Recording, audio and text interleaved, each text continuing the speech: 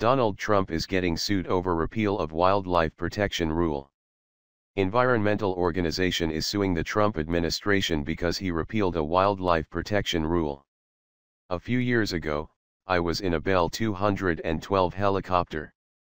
The doors were off, and we were flying to a wildfire near Kinbasket Lake, just outside of a little mountain town called Golden, British Columbia.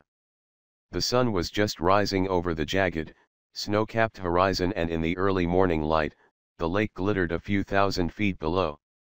As we flew low along a ridgeline, a bear and three of her cubs spooked and ran out from under their cover, barreling through a narrow strip of grass just a few feet from the cliff's edge.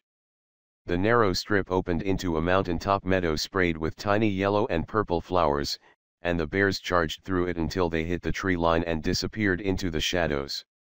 It was fucking beautiful. Why am I telling you that story?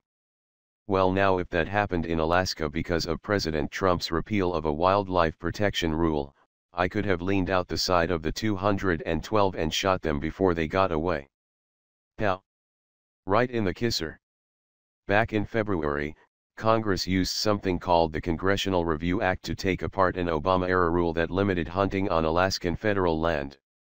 The rule had exempted wolves and bears from Alaska's plans to control predators, which included killing wolves and their pups in their dens and shooting bears from planes, wrote Lisa Lambert for Reuters.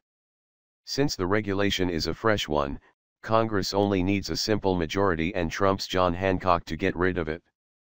And Trump, because he is Trump, signed with typical Trump-ian flourish. Since the beginning of February, the president has been on a signing frenzy, repealing rules every chance he gets.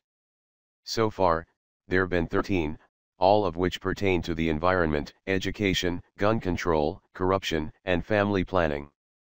The lawsuit, brought by the Center for Biological Diversity which apparently doesn't have much of shot said, the CRA violated the U.S. Constitution because it barred regulators in the future from enacting substantially similar rules to the ones repealed. Don't get me wrong, here. I'm not against hunting. In fact, I'm all for it, as long as it's not trophy hunting. You want to go out, shoot a deer, skin it out, butcher it, and feed your family and friends for months with healthy meat? Do it. It's better for you and the environment. Alaska Senator Dan Sullivan was in favor of the repeal, saying that the rule is about subsistence. The idea behind it is that hunting predators will boost populations of moose and caribou, which will make hunting them easier for people who live in remote regions. Basically, as all things seem to come down to, it's a fundamental disagreement about what the purpose of state and federal wildlife management is actually supposed to manage, biodiversity or hunting. The federal government has argued that the goal on refuges and in parks should be biodiversity, wrote Erica Martinson for ADN. The State Board of Game has an interest in ensuring maximum sustained populations for hunting.